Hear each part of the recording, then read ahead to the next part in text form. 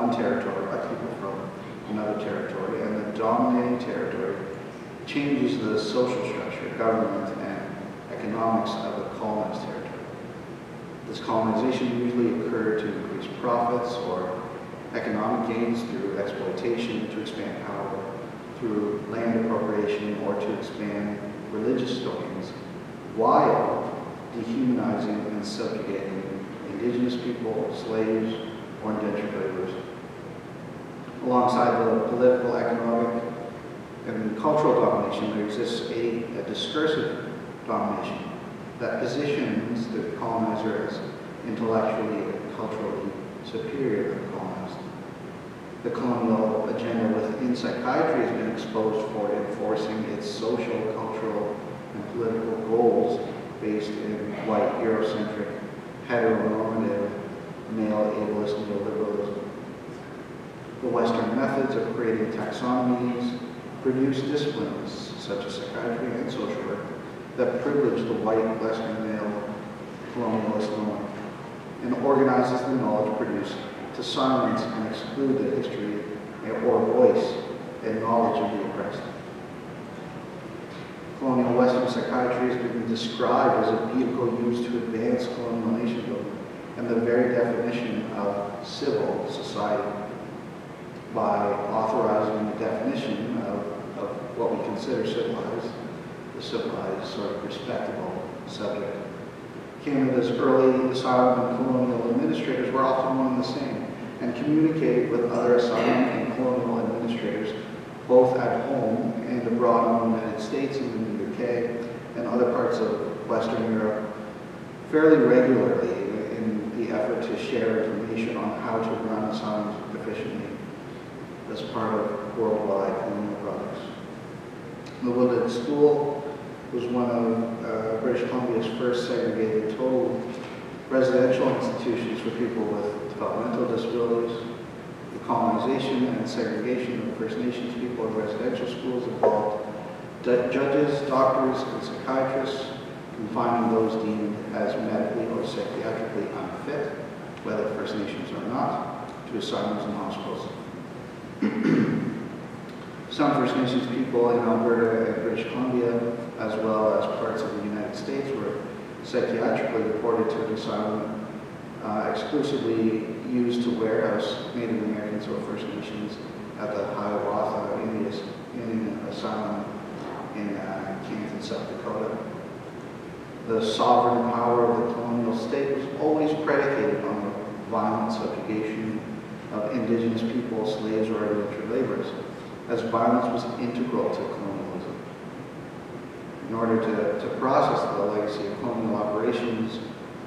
within the dominant discourses in forensic mental health, that which is predominantly interested in biomedical explanations and causes and interventions for mental illness, it's important to review some, some key perspectives on, on truth power and discourse, as, uh, as I'll talk about um, in relation to Michel Foucault and Edward Said. According to Foucault, truth is the ensemble of rules according to which the true and false are separated, into which specific effects of power attach to the truth. Truth can never be separated from power, we must always question the objectivity of accepted truths.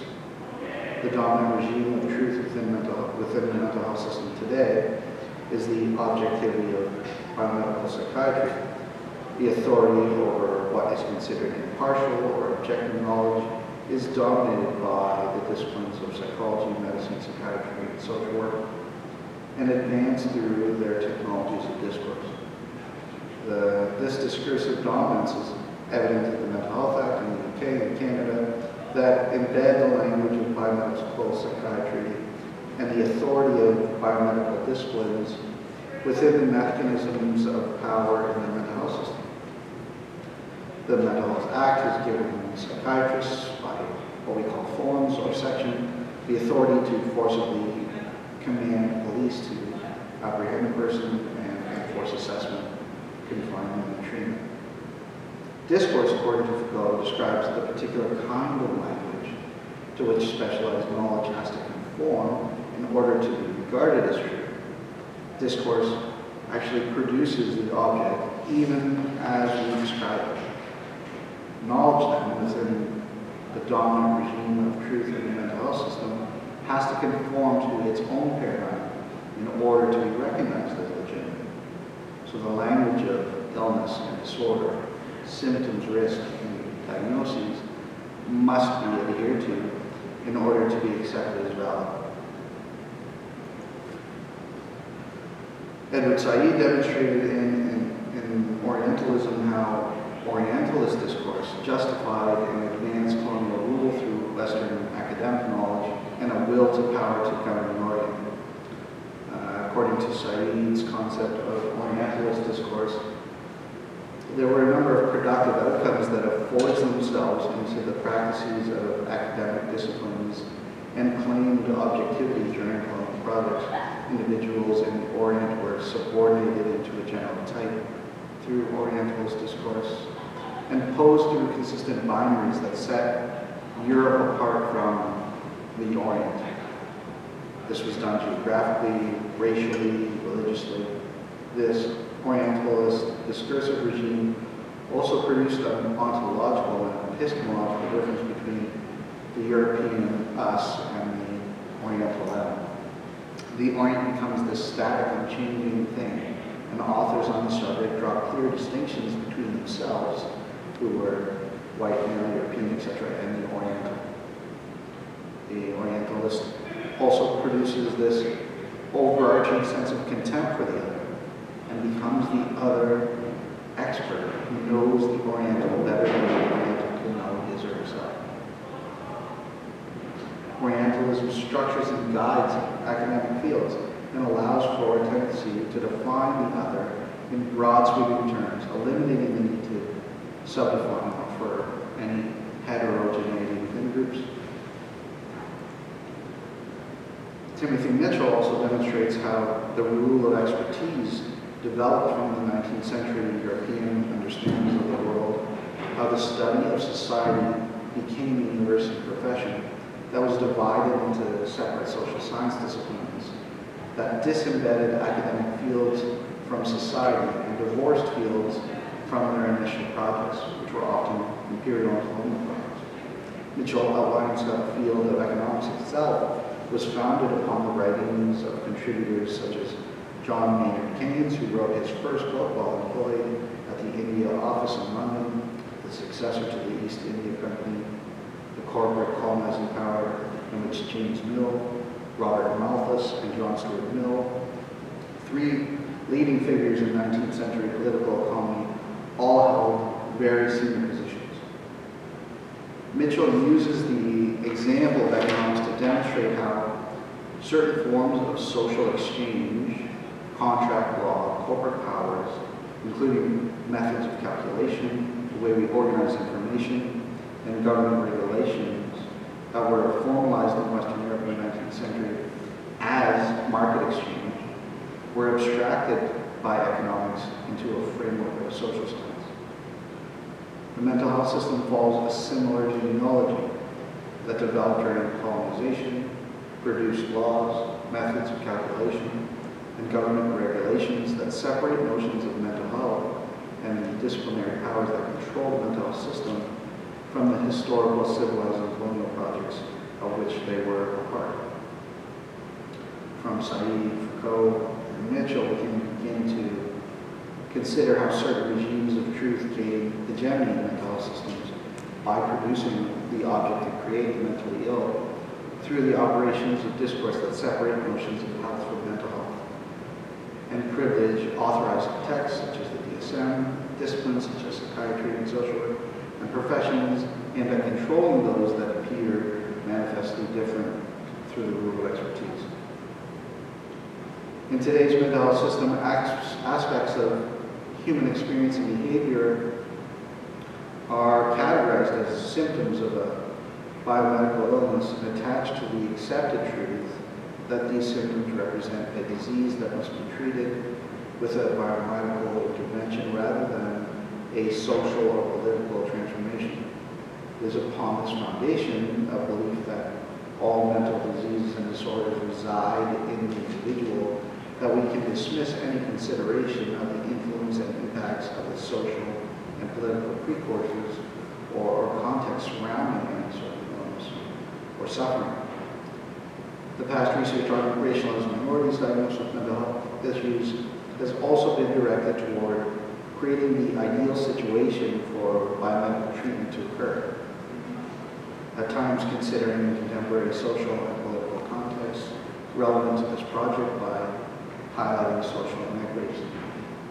While these ideal conditions for biomedical intervention are not realized, violence becomes justified within the regime of truth as no other alternatives can attach to the truth. This production of knowledge that produces these homogeneous categories, defined by and only diagnosable by the controlling disciplines, maintains the erasure of broader political and social contexts in any representation of a person and orders historical and, and patient knowledge as inferior. These technologies and practices advance through the dehumanizing violent practices of colonization that position certain bodies as superior to the other, white, male, able-bodied, able-minded, heterosexual, Christian, European, etc.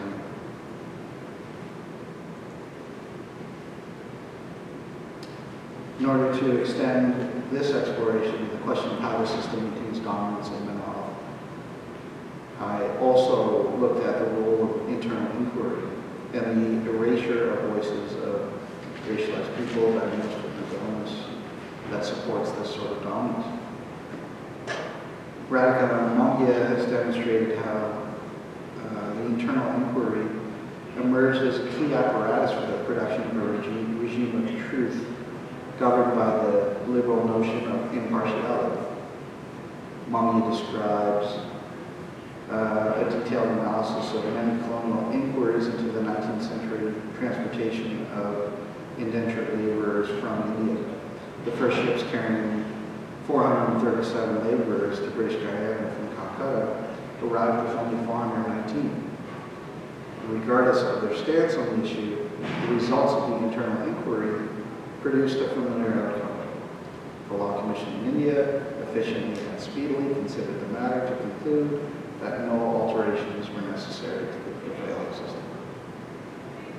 Mongia describes how the inquiry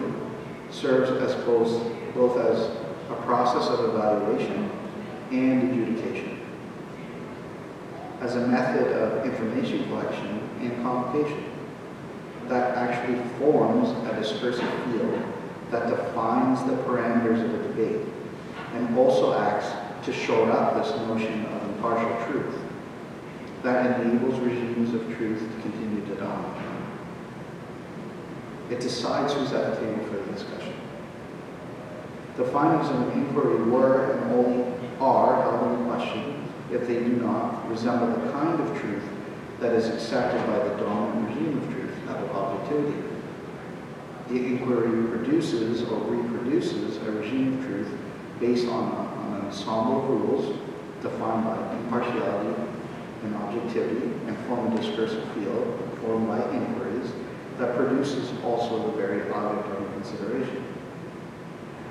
These practices and methods of inquiry gained momentum during colonization and have many effects today. Within Mongia's analysis, along with Said and Foucault and Mitchell, we include the operation of internal inquiry to our considerations of how certain regimes of truth gain privilege and hegemony in mental health systems by producing an object, the mentally ill, through the operations of discourse and the formation of disciplines, including psychiatry and social work, and professions aimed at controlling those that appear manifestly different with little expertise.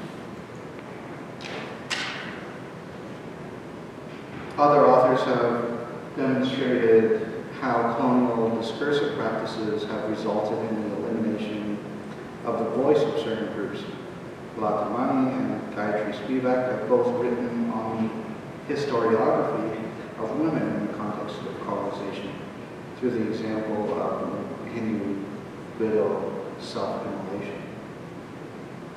Without attempting to get into all of that and track arguments here, I need them to highlight their examples of how this specific history, in the context of colonization, was written by the British Empire through the privileging of the masculine Hindu elite and their interpretations of religious doctrine